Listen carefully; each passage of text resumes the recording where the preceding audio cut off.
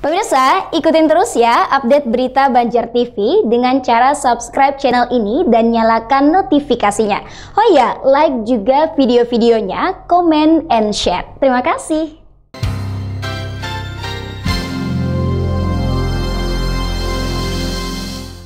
Pemirsa masyarakat di Banua diminta tak khawatir bakal kekurangan pangan terlebih lagi di masa pandemi COVID-19.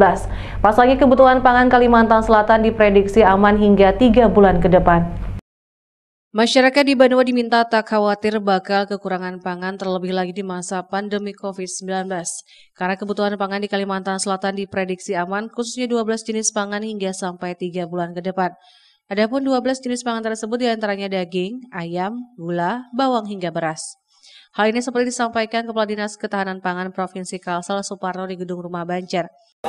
Pangan di Kalimantan Selatan, khususnya 12 kelompok, itu aman sampai 3 bulan ke depan. Kenapa 3 bulan nanti? Pas nanti akhir bulan Mei saya evaluasi lagi. Karena kalau beras, kita 3 bulan masih ke depan lagi ditambah 3 bulan 6 bulan masih masih aman gitu.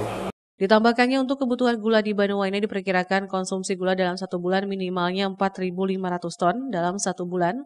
Hal inilah yang membuat kondisi harga gula di pasaran dapat berubah dalam setiap bulannya. Ayuni Banjar TV.